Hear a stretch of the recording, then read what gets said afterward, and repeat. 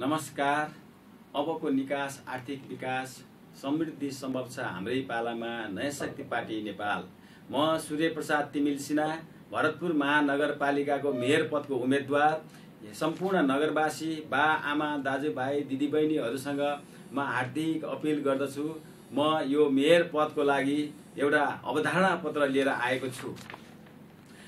अहिले हामीले भरतपुर महानगरपालिकालाई स्मार्ट महानगरपालिकाको रूपमा विकास गर्ने हाम्रो अवधारणा छ।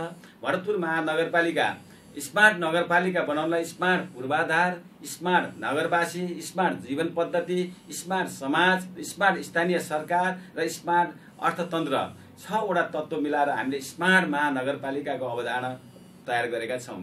स्मार्ट महानगरपालिकाको पूर्वाधार नै वैकल्पिक राजधानीको आधार बन्ने हाम्रो परिकल्पना छ।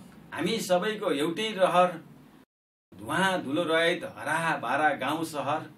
अरू गर्छन् कुरा हामी गर्छौँ पुरा। नयाँ शक्ति नेपाल।